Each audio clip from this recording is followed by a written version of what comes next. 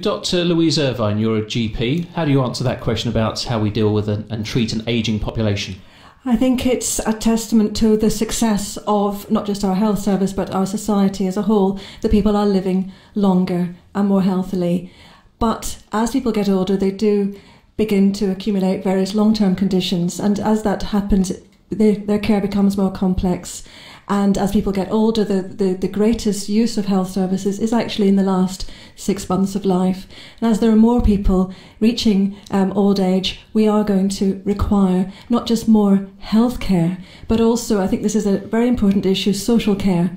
And we know the social care budgets have gone, have been cut by 20 to 30%, and that's made a huge impact on um, care of elderly people. I think it is totally unrealistic to say that we're going to make 22 billion pounds of efficiency savings in the next five years.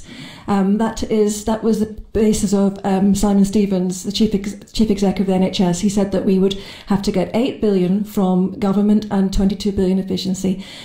None of the main parties um, has really pledged to, to even meet the 8 billion. 22 billion. Today in the Financial Times, there was an article by a chief economist of the Health Foundation who said it is totally impossible.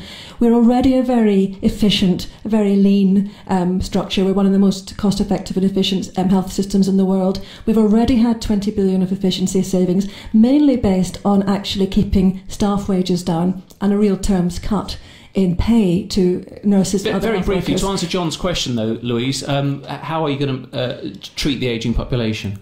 We will treat them by better healthcare. We need to expand and we need to spend more on healthcare, both in the community and in social, social services, but also in hospitals and general practice. General practice is the first port of call for many elderly people. So across the board, we do need to fund healthcare more. Anybody who says that they can make do this with 22 billion is lying to you. They will not be able to do that. We do need to expend more on health. We can stop wasting money on the market.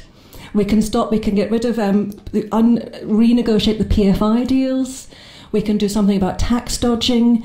But before all that kicks in, we're going to have to face the fact that we may have to spend a penny, an, an extra penny in the pound in tax, and that Okay. is actually something that many British people are prepared to do. Dr. Irvine.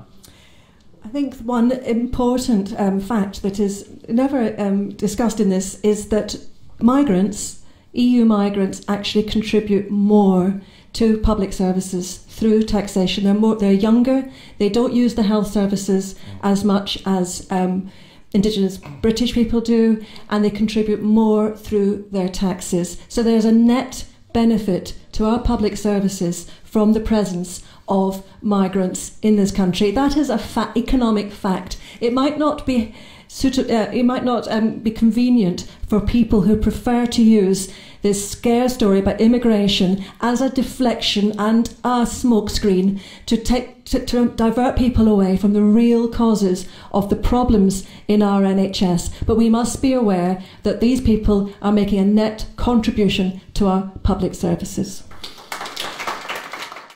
Dr. Louise Irvine.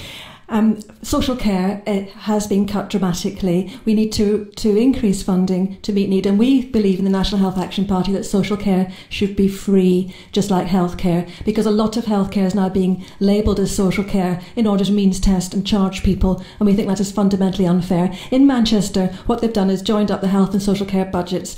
Now, the problem is that the social care budget has it, it has been decimated. The healthcare budget is on its knees. Combining two leaky ships is not going to make a seaworthy vessel. So it's, it's back to funding. Um, and also about entitlement. Once you've got major cuts, then you have pressure to actually cut the entitlement for uh, healthcare, and we need to make sure we always have comprehensive and universal services are guaranteed by reinstating the duty of our Secretary of State for Health to actually provide a comprehensive healthcare system, which we will get if we repeal the Health and Social Care Act.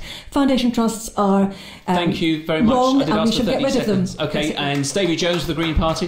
What Louise said. Okay, uh, Peter Carl for Labour.